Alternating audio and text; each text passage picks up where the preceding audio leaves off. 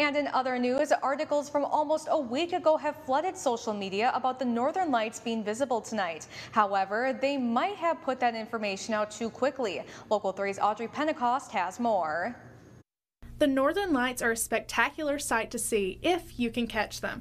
News about the lights being visible tonight started popping up almost a week before the show was expected to take place. Unfortunately, with predictions that far in advance, it's very likely they will change, and in this case, they did change.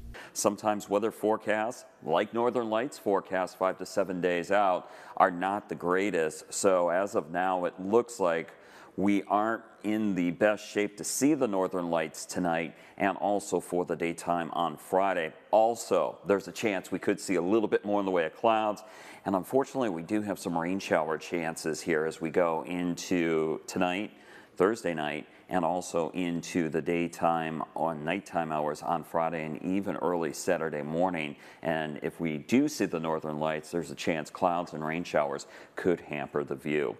Another thing is we are in a period here in the summer months where we have less darkness. So if there's a time we are going to see the northern lights, we kind of have to thread the needle here in terms of our darkness, meaning if we're going to see the northern lights, best chance to see it would be between midnight and perhaps 3 or 4 in the morning. Even though tonight's northern lights forecast is a bust, there might be a chance for tomorrow night if the cloud coverage is just right and if you're willing to stay up late enough. Reporting in Marquette, Audrey Pentecost, Local 3 News.